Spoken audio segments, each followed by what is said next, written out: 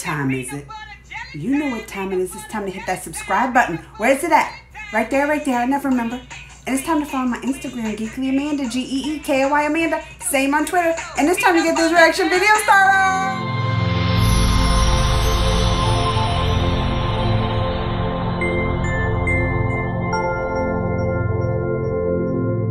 A new trailer dropped for the Adam Sandler movie, Uncut Gems.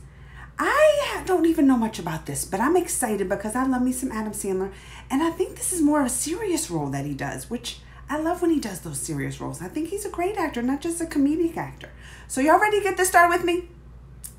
Let's go. How you doing, Holly? How's it going? Hey, Howard. Good face out there. All right, Larry. You're a Jew again. Welcome back.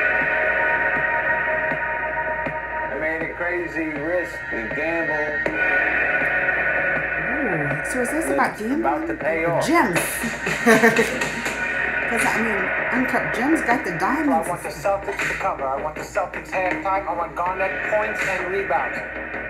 Oh, so he's like a, I don't know. I just know. he's like a bookie Well, kind I'll of. tell you what I know. That's the dumbest fucking bet I ever heard of.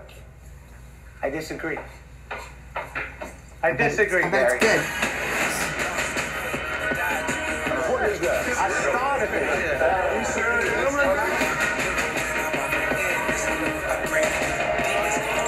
You're taking my money all over town, placing bets. I'm having very serious second thoughts. Are you serious Uh-oh. right now? I know I fucked up. What is this even Where's the money right now? Did he steal money? Is it too late? Ooh. I'm done. It means nothing. It meant nothing. Please. Give me another shot. You like to win, right? This is no different than that. Black Joe, power, nigga. This is my fucking way. You think I'm stupid, Howard? You and your whole This fucking looks family. crazy. I heard you resurface your fucking swimming pool. Uh, you know how that makes me feel? Never you think your life is more important than I don't know who said that. So see, I like he's. About how things were gonna go. You like the way things are going now? Oh, what are they doing? He's fight. They're laundering money. You having a good time? Yes. I don't even know what this is about. This is That was me. Michael Jordan. Was that This Michael is Jordan that was on the?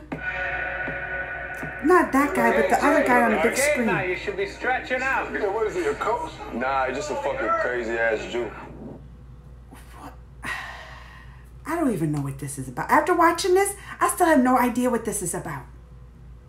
Apparently, he's kind of like a bookie, but then he so uncut gems. I'm thinking diamonds, and and they showed the jewels, but then he's doing this booking stuff, and I thought they showed maybe it wasn't Michael Jordan because it they cut then to the other guys, but then I was like, oh, that maybe this is gambling because you always hear Michael Jordan and his gambling problems. But then he's uh, then he's like stealing money. I don't even know what this about.